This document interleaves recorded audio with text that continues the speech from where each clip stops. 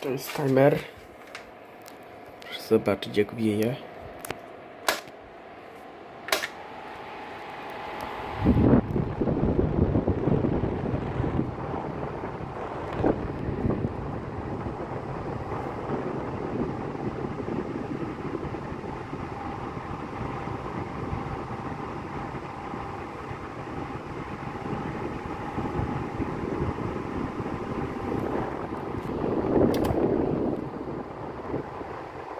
No, to jest taki podwentylator tego wentylatora pod... tego wentylatora kolumnowego, więc go zostawmy. Jak widać wentylator działa.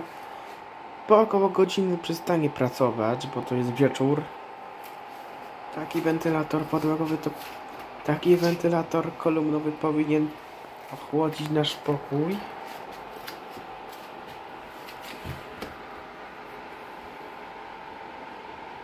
No, sobie będzie się kręcił przez 60 minut.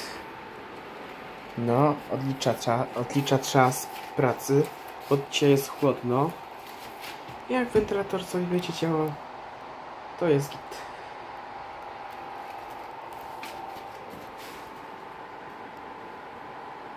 Nawet ta soba jest lepsza. Przewiduję, kiedy wentylator przestanie działać. O, właśnie ten. Jak widać, wentylator powinien się wyłączyć za, go, za około 59 minut, jak 58-57 minut.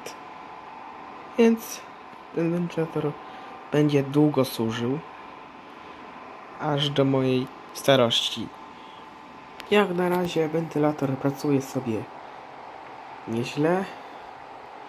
Dawajcie mi subika, łapkę w górę oraz lajka. Dzięki, Sebas Zygzaczek. Ale wentylator jest dobry. Do widzenia, papa. Ten wentylator powinien pracować, papa.